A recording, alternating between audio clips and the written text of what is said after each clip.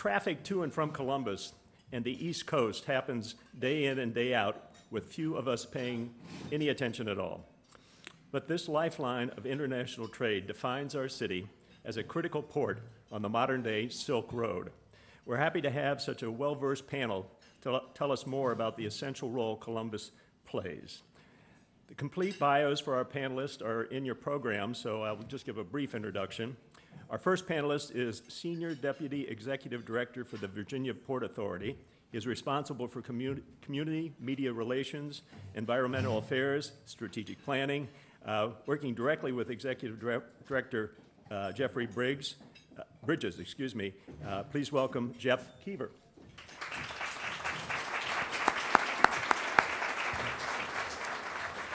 Our next panelist is Vice President of Business Development and Communications for the Columbus Regional Airport Authority. He is the liaison uh, between the authority and the airlines at Port Columbus and responsible for air service development and airline tenant affairs at Rickenbacker. Uh, please welcome David Whitaker.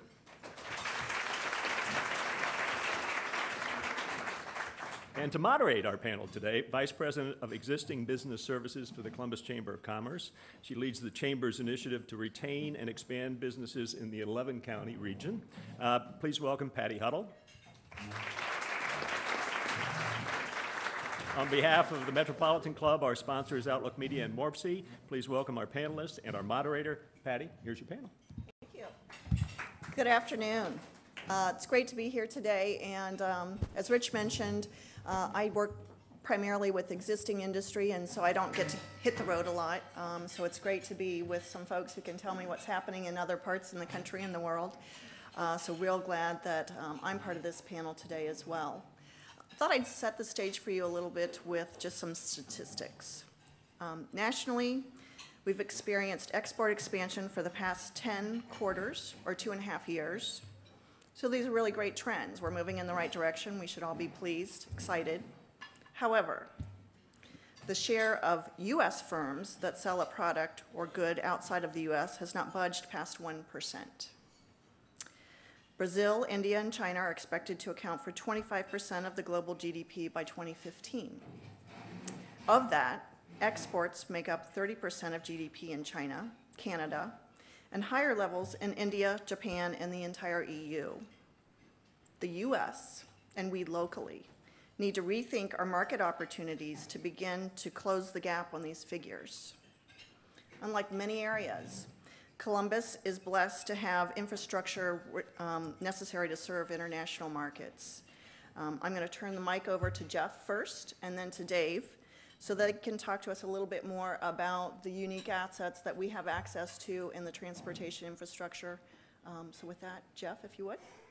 Thank you very much, uh, Patty, and I certainly appreciate the opportunity to be here with you in, in Columbus. It's a great turnout. I know I'm following the governor that spoke at the last meeting of this group, um, and I'm not on my way to dedicate a statue to myself, um, so um, bear with me as we talk a little bit about global trade.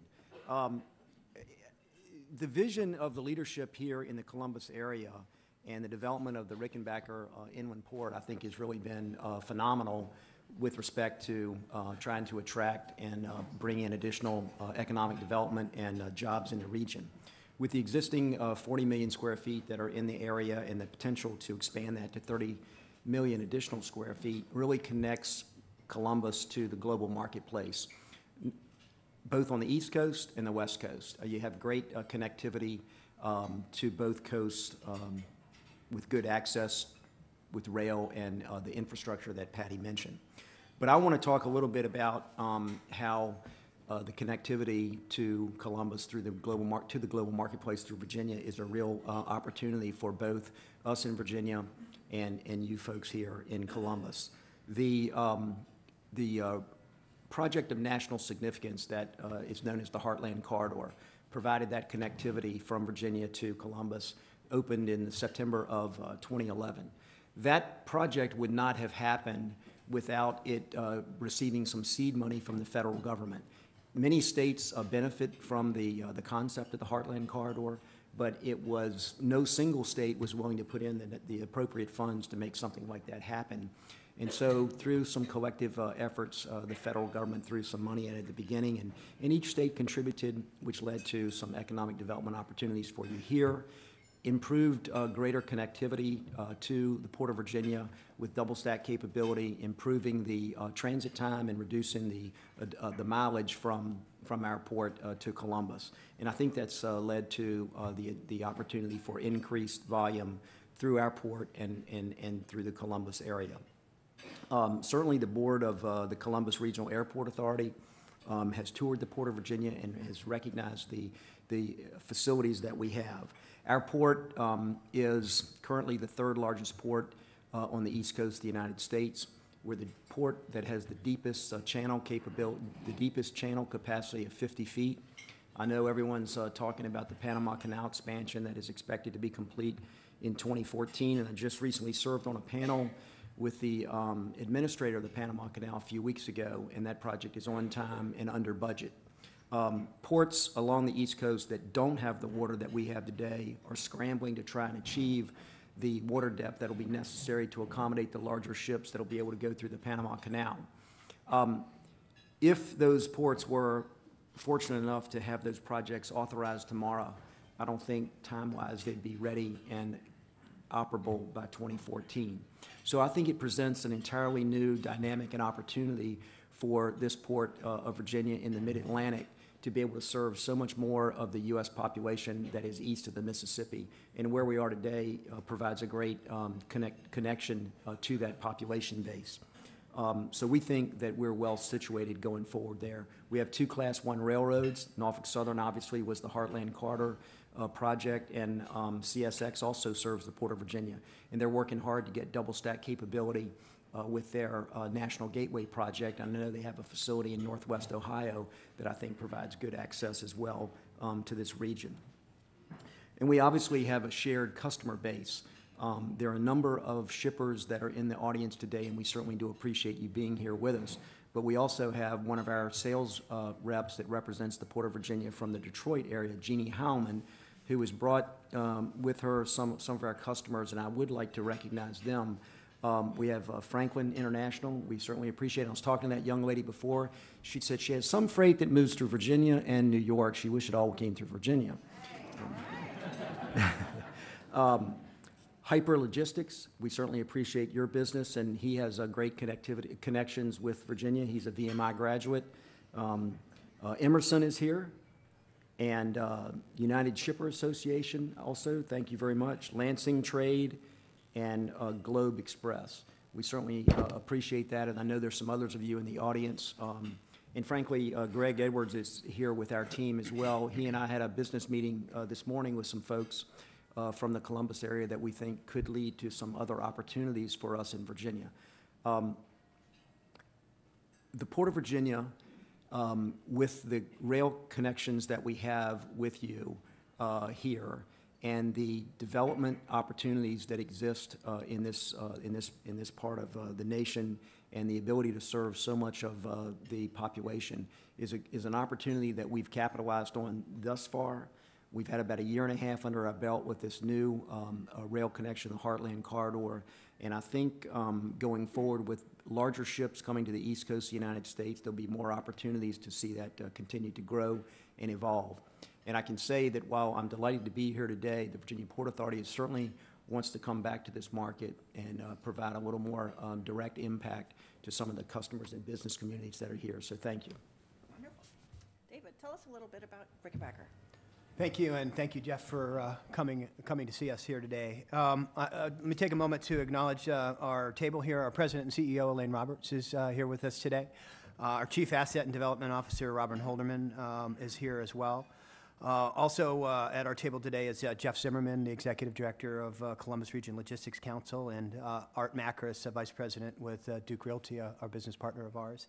Additionally, Brian Schreiber, Mindy Davis, Carl Schultz, and Connie Tursick, uh, staff members that we work with on logistics and issues, are with us here today, too. So want to thank all them. Uh, Further, there's a tremendous number of uh, colleagues, friends, and business partners that have joined us today, and certainly appreciate all all your support.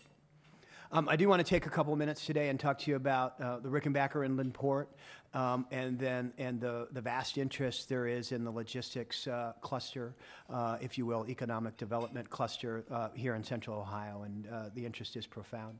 Uh, the first thing I'd like to convey, though, is that it's that we're a global player in, in the world of logistics, and it's sometimes hard for insiders um, to realize that Columbus is, uh, has the right to be asserting itself as a global player uh, in the logistics industry, and we do.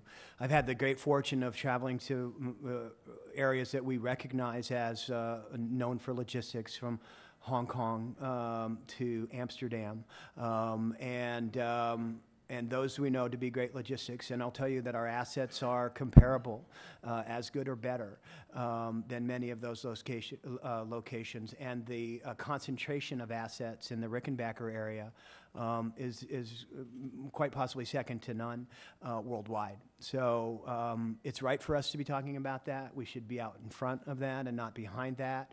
Um, and so it's important to, to have that mindset as we go about the business of marketing our region in, in that regard.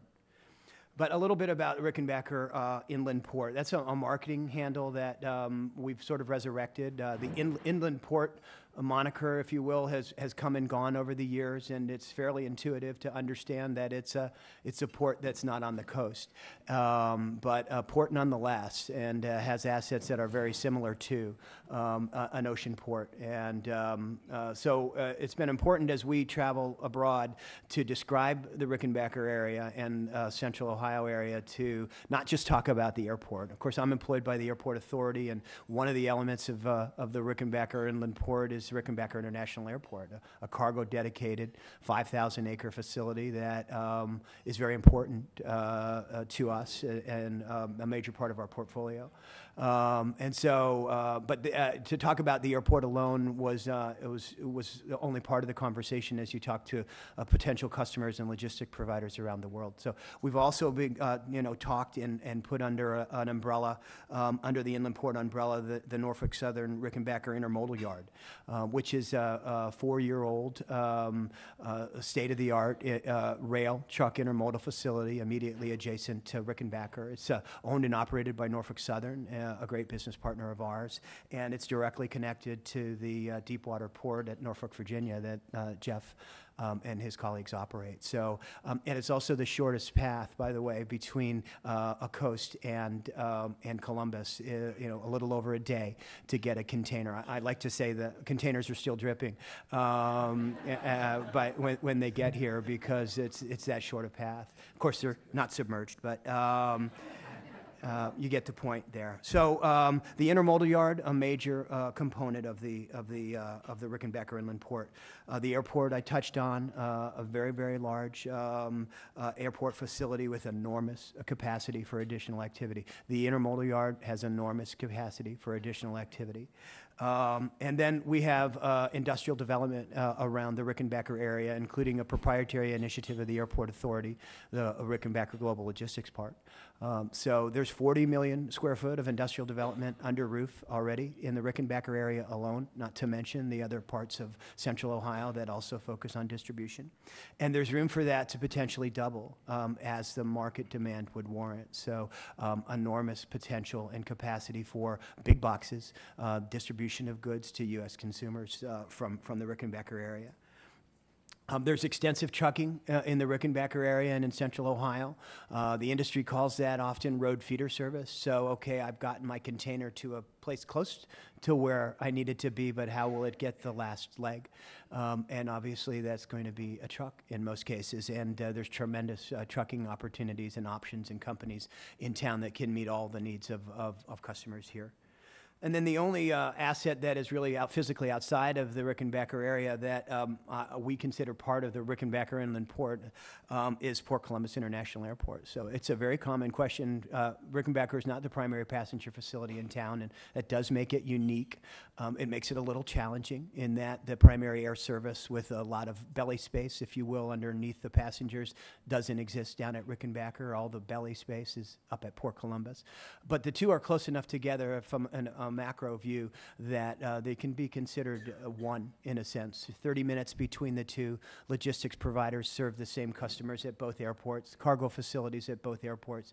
Um, it's a sufficient uh, uh, explanation as you talk about the airport assets in town to talk about the two um, and how they work together. Um, so they're really uh, uh, an air uh, product that over two different platforms that, that, that does work for us.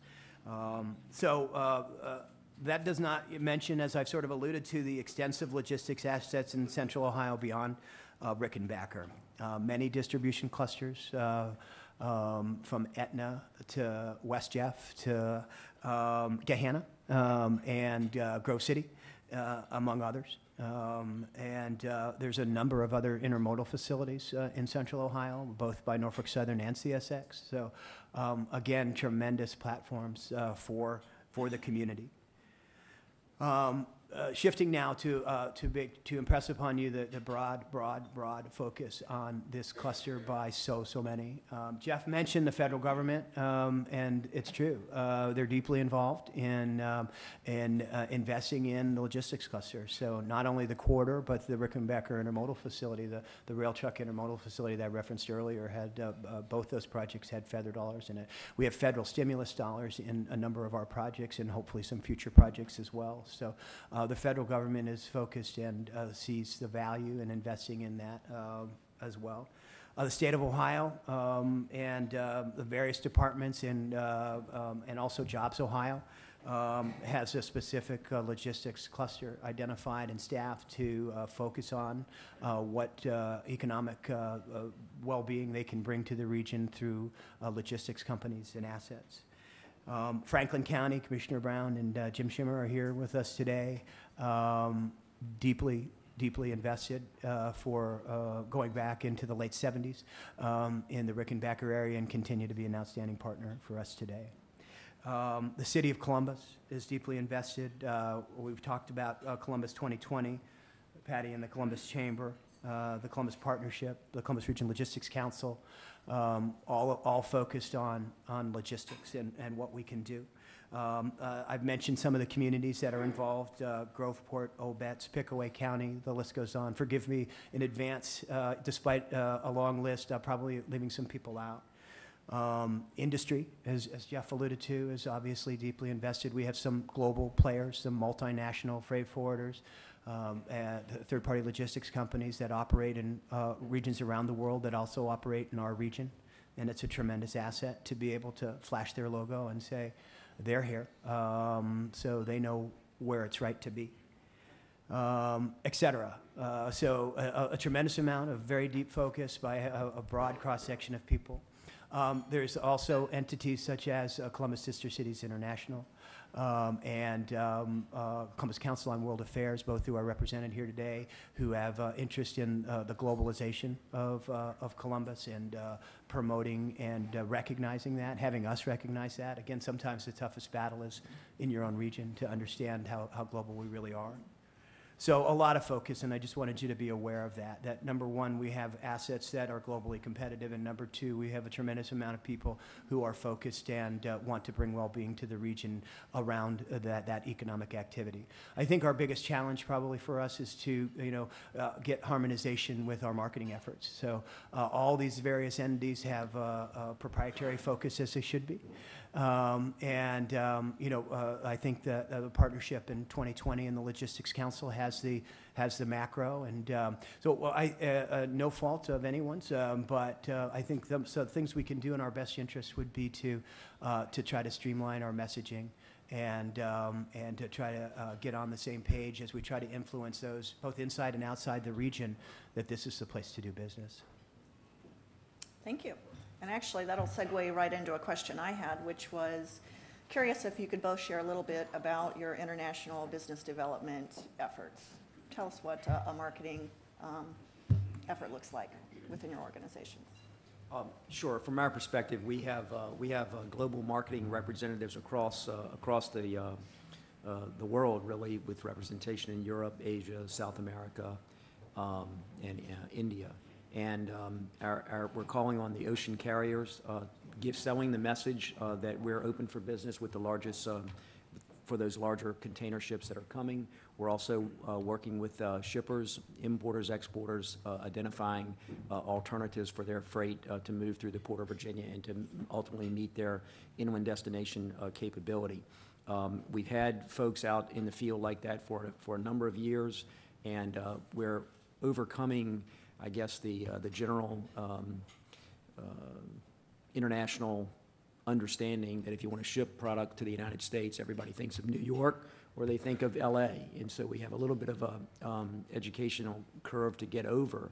But I think um, as we have grown uh, from the early 1980s as the 30th largest port in the United States to the seventh largest port today, we've slowly been making some progress uh, there. And as I mentioned, we're third on the East Coast, and I think with some time, you'll see that ultimately we become the dominant port on the East Coast of the United States with this uh, outreach to, uh, from our marketing folks.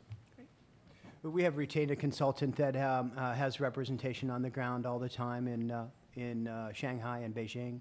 Um, And so we have that sort of day-to-day coverage there where we're members of uh, associations and logistics councils. And um, so as we're at those meetings and, uh, and can uh, do some business development work there, um, we do have representation on the ground that helps us execute that.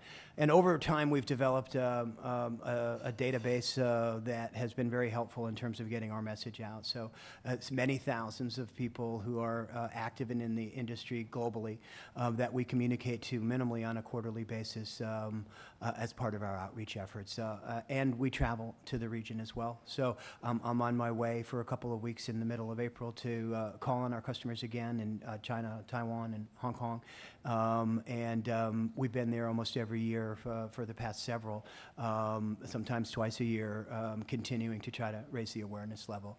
I've had the great opportunity of interacting when I am traveling with, with Jeff's team globally, and they're deeply impressive um, and, and great partners and have their own network. And uh, we've even co-presented abroad, and um, they're, they're really masterful at, um at dovetailing messages and uh, talking about a single product. And it's been, it's been very, very helpful to us. Thank you. Thank you. That was a question as well. You mentioned having some shared customers. Is there um, an opportunity to increase that just by sharing more information and working more collaboratively together? Or do you think you've already got that pretty nailed? I'll take the first crack at that. I, I, you know, I, I think there's always room for improvement. I mean, obviously, being here in this community um, today is, a- is another step in that dir- uh, direction. The, uh, the, the meeting that we had earlier today uh, is another opportunity. I think the collective marketing opportunities are, are pretty strong uh, going forward. And uh, with the additional um, um, uh, square foot, square footage in the warehousing, I mean, we, we need to work together better. I mean, the, we have two Class One railroads, and, um, you know, everybody wants to do it cheaper and faster. And I think if we uh, kind of work, work together on either end of this um, uh, connectivity, we'll be a stronger, um, um, we'll have a stronger partnership. I certainly couldn't agree more, and uh, uh, uh, we, we should partner. We should do, uh, create leads. Uh, We should talk about our platforms together and the opportunity here in Central Ohio together and with a common message. Absolutely. And one of those messages, uh, we had a study conducted recently, and they indicated that one of the um, attributes that the Columbus market has uh, as it relates to logistics is predictability. And so you talked about cheaper and faster, but um, being able to provide predictability and when your product is going to arrive and be shipped. Um, Would you find that, based on your experience with other po- inland ports, you would agree that uh, that's an advantage for our market? A- Absolutely. Um, Predictability, reliability um, is what I think um, shippers are a- a- always uh, uh, striving for. And now that we have this, I think it's 36-hour delivery from, um, from the Port of Virginia to Columbus. I mean, I think people can count on that, and that is a uh, reliable uh, delivery time frame from the Port of Virginia. So, I mean, everybody can work that into their uh, logistics chain. So as we grow, uh, you know, we haven't experienced a tremendous amount of congestion. Um, And where we see it, we respond to it quickly. So uh, tens of millions of dollars in roadway improvements, um, the uh, enormously expensive intermodal facility to uh, improve the capacity, tens of million investments into, uh, into Rickenbacker International Airport to stay ahead of the curve, not to mention investments made elsewhere. Um, So uh, um, you don't want the reputation of congestion to precede you. You don't really often get a chance to fight that um, or even debate that because once the word's out, it's out.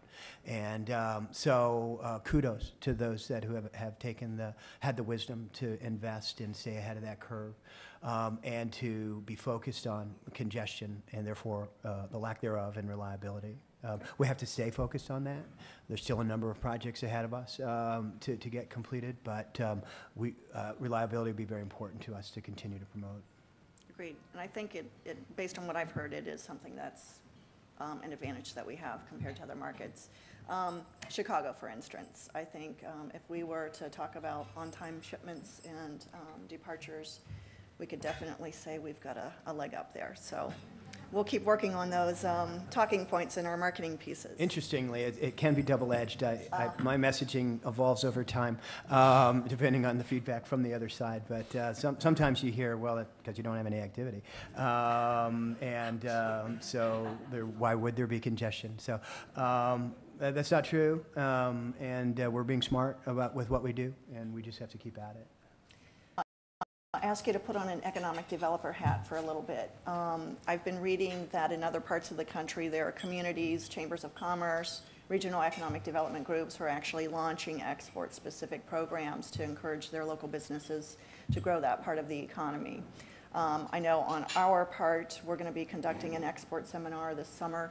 Um, We've got folks out on the road uh, domestically and internationally all the time to try to grow um, business as well.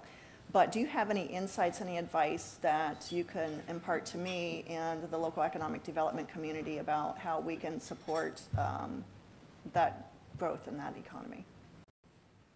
Well, Patty, uh, you mentioned um, uh, we had a sidebar today, and uh, that we're, we're attending the uh, International Air Cargo uh, Association's biannual um trade uh, show in Atlanta this year, which is co-located with the uh, Council of Supply Chain Management Professionals annual meeting as well. So, under the same roof, we have these two great uh, logistics uh, uh, trade associations and uh, trade groups that will be. Uh, together and interacting, so there'll be access to both halls, if you will, for all attendees of, of the conference. And we want to be sure that, it, you know, we've gotten a, a larger space because of the proximity, and it hasn't been in the United States in 12 years, the, the Air Cargo Forum. Um, and so we've taken a, a large amount of space, and it would be very important for us to have the Columbus region be a part of that. And so we very much look forward to, you know, Jeff joining us uh, down in Atlanta and, um, and to promote the Columbus region. Um, it's real important to connect Rickenbacker, which has some traction, uh, and Columbus, because uh, again, in the end, it's all about uh, recognition and identification. And so, and as, again, the message, marketing messaging and uh, making sure that we're, the person on the other side, no matter how far away they are, is hearing consistent messaging uh, from the region, uh, no matter who's providing it. So we, we need your help in that regard.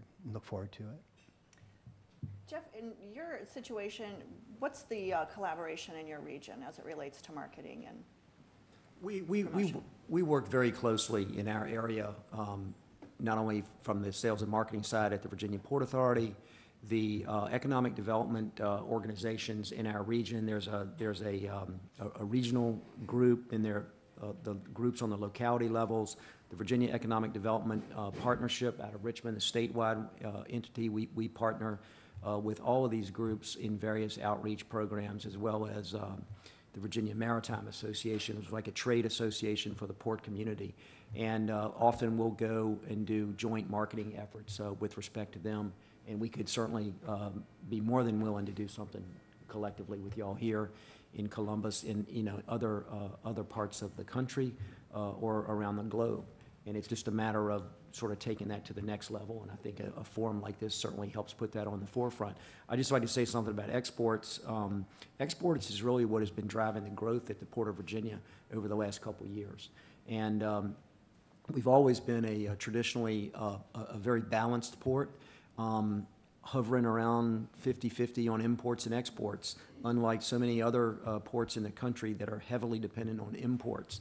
Um, When we had the downturn in the economy, we, uh, we, we, we we lost about 16% of the freight, but the recovery came back um, on the, on the, uh, the import side. And we're exporting about 53% of our product today versus 47% on the imports, and we like to kind of keep it like that. So whatever we can do to partner, we're, we're here. How many U.S. ports do you hear that from? That's incredible balance. Uh, We, would certainly welcome, um, you know, what comes in goes out. And uh, so if we could have stuff going out, it'd make our conversations a lot easier. So we certainly welcome the manufacturing activity increases, the, uh, mission to uh, export globally, our Ohio-made products globally, and we certainly want our platforms used for that activity. So now I'm going to see how bold you two gentlemen boy. are. I'm going to ask you to step outside your comfort zone a little bit and make a prediction. Um, Ohio's leading export des- destinations today are Canada, um, I think it was about 40% of total exports, Mexico, followed by European countries, Asia, Southeast Asia, and South America. We just heard Jeff talk a little bit about the Panama Canal and what that impact will be on uh, the port as well as us, what that opportunity is to us. And I'm curious if either of you gentlemen would like to make a prediction how those destination numbers might change or the rankings might change um, if we indeed embrace the Panama Canal opportunity. Um, I'll, I'll take the first uh, stab at that. Um, With respect to number one and two, are trading, your trading partners to the north and the south. Um, And I, I don't think the canal is going to affect that. I think it's a matter, I don't know what those commodities are going to those areas.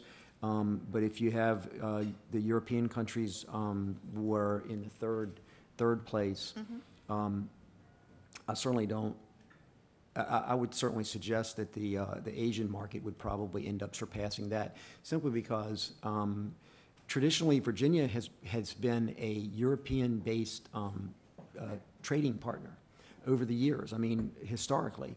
And um, um, not surprisingly, uh, when there were some uh, issues on the West Coast with respect to uh, congestion and uh, some uh, labor challenges, um, a lot of changes occurred. And so much of that Asian freight made its way by all water services to the, to the east, to the East Coast. I mean, still two-thirds of the U.S. population is east of the Mississippi.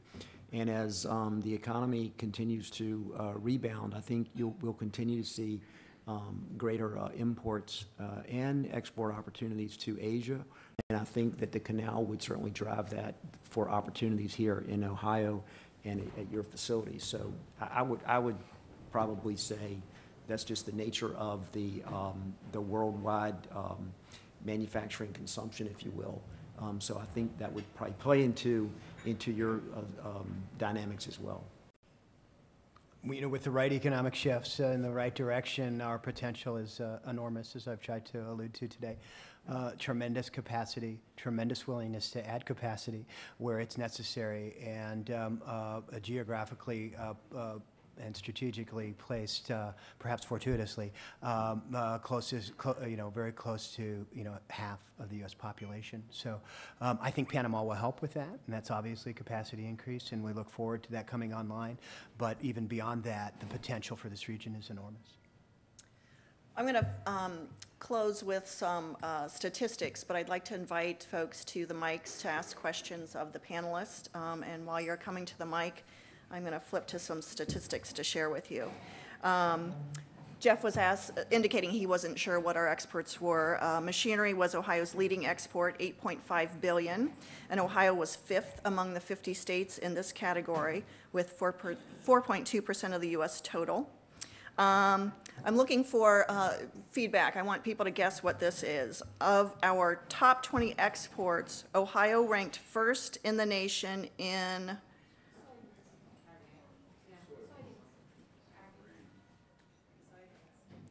soap, waxes, and dental preps. Not soybeans. Um, Ohio was second in the nation, not in soybeans, for glass, glassware, iron, and steel products. Um, Ohio was ninth, the ninth largest exporting state. Um, and let's see, Ohio merchandise exports were valued at 46.4 billion in 2011, an increase of 11.8% from 2010. But by comparison, the US, US experienced an increase of 15.8% in exports from 2010 to 11. Since 2004, Ohio's U.S. rank and share of the total export market has dropped from just under 4% of the total U.S. exports and fifth in the U.S. to just over 3% of total U.S. exports and ninth in the U.S. um, in 2011. So as we leave today and as I move on to uh, questions, I think we should all challenge ourselves to think about how we can take responsibility for trying to grow the economy and look outside our borders to do that. Um, With that, we'll open up for questions. Thank you. I'm Jim Rutledge from the law firm of Bricker and Eckler. Uh, Thank you, gentlemen, for your, your efforts uh, on behalf of our communities. Um, I'd like to continue with this, uh, looking into the future, and if we could fast forward to after the Panama Canal has been deepened and widened, and we have this mix change of both volumes and mix of imports and exports, what type of development do you see in and around the intermodal? Will be different types of businesses? What types of businesses can we expect in that bright day in the future? I think uh, more of what's going on uh, there, uh, in, in my view, uh, uh, distribution, uh, warehousing, and light manufacturing, I think is the ticket for the area. And so that is receiving of, of globally sourced goods um, and, um, and distributing them both around the Rickenbacker area and in a much broader region uh, from, from there, from that central location. We would, uh, again, welcome um, any sort of uh, uh, activity that would generate exports um, as well and, um, and, and head back out on some of the uh, assets that are coming in. But um, really, distribution, I mean, uh, is, is, is the primary ticket, I think, for the Rick, broader Rickenbacker area. Let me follow up and just ask you, you said you had 40 million square feet under roof. What sort of time frame do you expect that's going to increase? Well, if you'd asked us a couple of years ago, we were, we were, we were bullish uh, on it. I, I- you know, I, I, it's probably going to take 20, 20 more years for that to, to fully realize itself. Um, we'd hoped for a 20-year target a couple of years ago, but I'd say it's probably still at 20. Who knows? Um, if it gets hot, it'll move faster. Um, uh, Robin and Art have the ability to put up buildings very, very, very, very quickly, shockingly quickly, um, and they're chomping at the bit to do so. Um, so we're ready uh, as the market allows us to go. Thank you. Yeah.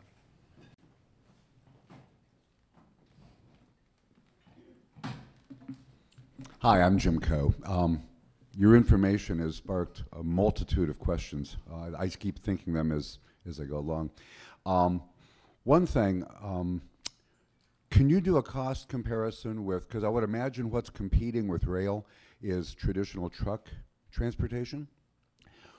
A container from the port in Virginia to our um, rail intermodal here at Rickenbacker. Um, it sounds like it's probably an equal uh, time frame, about 24 hours, 24 to 36 hours. Uh, so that that being pretty much equal, which is more eff- uh, efficient right now, uh, the cost per container uh, by truck or by rail? You want me to refer to one of these shippers over here? Rail. Gas. Okay. Yeah. And that's Okay, going to and it's continue, that's going to continue. That's And, gonna and, and our, our, our prediction is that rail is going to be the driver for us in the Port of Virginia. It's the rail connectivity that is going to, uh, enhance the ability to serve more of the, uh, the population. And, um, uh, The reliability piece that we talked about earlier is, is a key component to that. I think the, uh, the, the the prices of uh, fuel is another. I think the regulations on um, drivers and the hours of service will continue to add to that. So, I mean, I think it's all going in that direction. It relieves highway congestion. And then the motor carrier industry, um, I mean, there's plenty to go around. Don't get me wrong. There's plenty to go around. They're always going to get the, the, the last mile and the first mile um, as well as, you know, the, the domestic move itself. So th- there's, there's plenty for everybody. On that note, I've heard rumors ever since I've heard about the intermodal center here at Rickenbacker that uh, for maximum efficiency, several of the rail tunnels in uh, the mountains in Virginia and West Virginia had to actually uh, go for a higher clearance in order for, I guess, a double stacking of the containers. Is that true? That is true. That was part of the, that was the Heartland Corridor project. It either raised the ceiling or lowered the floor, I think, on 27 tunnels in Virginia and West Virginia and Ohio. Um, th- This was an existing um, rail track that Norfolk Southern owned for the coal business. And um, the double stack containers required a, a little more vertical clearance. And there were some bridges, I think, that had to be modified too. But th- yeah, that was, that was it. That- And that's all completed? That's all completed.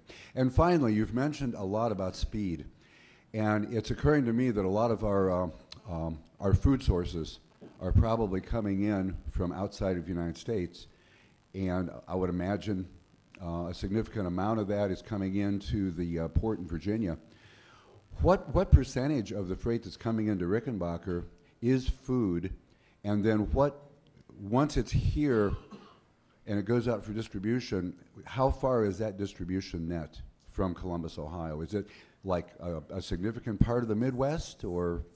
I'm, I'm going to defer to David on that. And I, and honestly, I don't know. Uh, Most uh, perishables, like you're referring to, actually fly.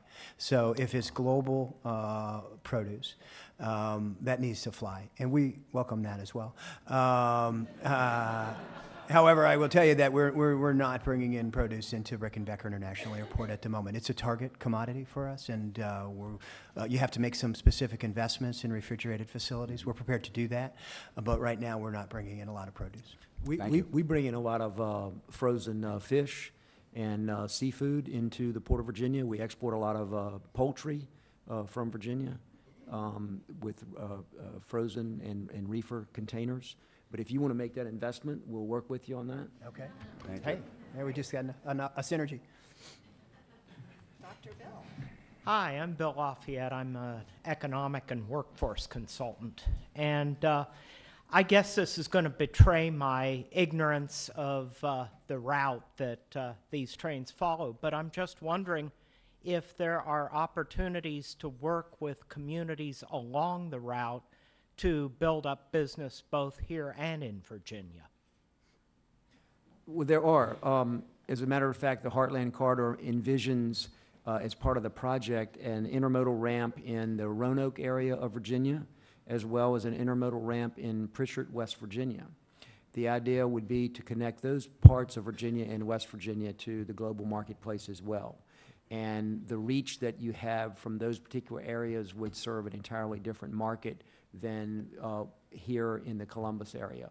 So it wouldn't adversely impact um, the, the, the the opportunities here. We think it would enhance it. It would. Those are, um, um, there's very little in Prichard, West Virginia today uh, for the global marketplace. I've been there a couple of times, um, and to look at the site where that was going to be built, and this junkyard dog came out of nowhere.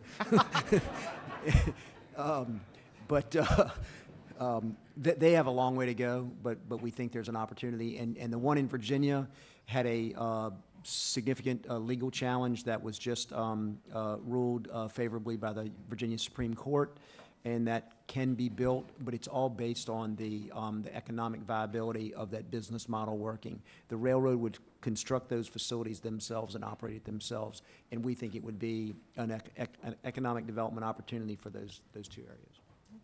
Thank you. Hi, I'm Laura Kaprowski from MORPC, the Regional Planning Commission, and appreciate both of you being here and the topic's so important. I mean, we're working on our Metropolitan Transportation Plan, and we also have an important freight um, logistics uh, report coming out later this year. But my question is right now, there's a lot of talk in DC about transportation. I mean, both a transportation bill in the Senate that's been passed, and we don't know what's going to happen in the House. Can you talk about do, do either of those bills or, or discussions relate to, to the topic today? And is there more that maybe in Washington, D.C., that they can do to help us in this area? Well, I, I can tell you the last transportation bill was extremely helpful to us. Jeff re- uh, uh, referred to corridors of national significance, and the Heartland Corridor was identified as one and secured a tremendous amount of funding for it. I'm not uh, up to speed on, uh, on uh, the nuances of the current bill, but that, that's an important bill for us, and uh, we have tremendous federal support in, in regards to that. I'll just offer the comment and echo the significance of the, the, the projects of national significance. Um, the House is not advancing that sort of concept uh, as we go forward, it- which is very disappointing to me because we had one project of national significance that we delivered on time and under budget, and we were going to use it as a poster child to do another project of national significance that would really be meaningful for the growth, growth of global trade. But this um, is kind of off the table for reasons, uh, as this gentleman's logo says, everything is political. Um, Who's our sponsor today, so thank you. Hi, Paul Astleford with Experience Columbus. I'm just curious, uh, what are the top uh, five or six ports on the East Coast? And David, how much business do we do with all the other ports uh, in, forgive me, Jeff, uh, but how much business does Columbus do with all those other ports as well? Number one is uh, New York. Pains me to say that. Um, number two is Savannah. Number three is Virginia. Uh, then it's um, Charleston, and then I think Jacksonville. So those are the top five on the East Coast of the United States. I don't know how much they do, but this lady would prefer it all come through Virginia. I won't, Nothing. I won't Everything press. comes through Virginia. No, um, all, I, I like to say I'll, I'll pass lead to Columbus, and so we're, we're as connected to L.A., Long Beach, as we are to New York and Norfolk, um, and it's really getting close to a 50-50 split in terms of the container activity coming into the Rickenbacker from the east or from the west, uh, which uh, it used to be 90-10 west, um, and now it's 50-50 uh, west and east. So uh, that's Norfolk at work there.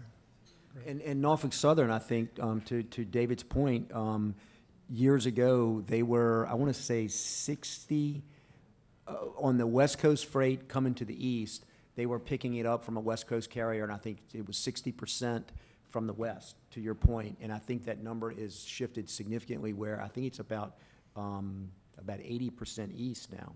And the Panama Canal will push that even further? We hope so. It should encourage more ships to pass through, yes.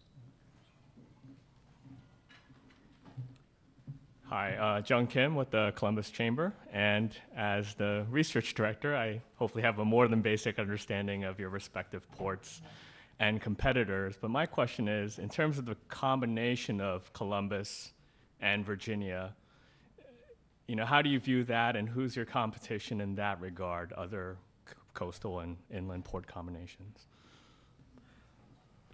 Um, I'll answer that this way. Uh, Virginia, uh, and I'm a very proud Virginian, uh, but we're a small state. We have about seven and a half million people. We do not have a huge consumption base at all. Um, our big competitor is really the Port of New York. And the population center that is there is just enormous. I mean, they've got people that got to eat and consume stuff every day. We don't have that. Uh, Savannah has the benefit of having Atlanta in their backyard, and that's another huge consumption uh, uh, uh, area. So we've had to artificially create our consumption area, and that's why we've tried to partner with um, uh, you folks here in the Columbus area and capitalize on the Rickenbacker facility and the connectivity and work with the railroads to get to places like that. Um, and so we don't have, you know, we're not going to grow our state to the size of New York or the size of Atlanta. And so we've got to continue to foster these kinds of, uh, partnerships and maybe look to other areas, which is why I think that Roanoke opportunity and Prichard, West Virginia may, may evolve into something. We just started a rail service down to Greensboro, North Carolina. Um, we hope to start maybe another rail service down to Charlotte to chip away at some of that uh, southeast uh, freight um, that is in that sort of um, swing area could go to Virginia, South Carolina, or, or, or Charleston. Um, but those are the those are the real challenges uh, that, that, that we face. We don't have that, that population center. I'd say from an airport's perspective, the first airport that comes to mind as a, a giant uh, that we're trying to chip away at is Chicago. I mean, it's obviously a global gateway, and it will be forever. And it's done some smart things. And uh, um, but if we, uh, you know, if we can get uh, some portion of that on a, a lack of congestion, uh, closer to your consumers, lower cost uh, message, uh, we'd welcome that. Uh, Atlanta uh, Airport as well, a, a rising star in logistics as well, and competitive.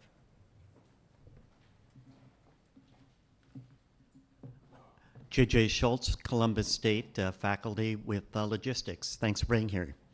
Quick question What can we in education do to support you all? Well, I think you're doing a, a ton, uh, particularly at Columbus State with the logistics art program and, um, and creating training opportunities for the uh, people inside that 40 million in the Rickenbacker area and many millions more uh, in central Ohio. And so, you know, continue to stay focused on helping us with uh, the training requirements and the staffing requirements uh, of, of the industry. And I know you're working closely with Jeff and CRLC and the Chamber on, on those initiatives, and I, I find it to be enormously helpful. Of course, Ohio State has the advanced degrees in, in logistics as well, and um, you know I think it, it's uh, it's helpful both in um, staffing our, our own industry and uh, attracting industry to Columbus uh, on both levels. Thank you. Thank you. No further questions, I take it. Well, I want to thank, uh, and the CMC wants to thank Outlook Media and uh, MORPC for sponsoring our program today. Uh, Also want to thank our panel. Jeff, thanks for coming into town and participating. David, uh, thank you as well. Uh, Patty, great job, thank you. Uh, Don't forget to RSVP for next week, the many shades of gray. We got to face it. And, and we want you to continue the conversation out in the lobby with coffee and cookies. Thank you for coming today. Come back.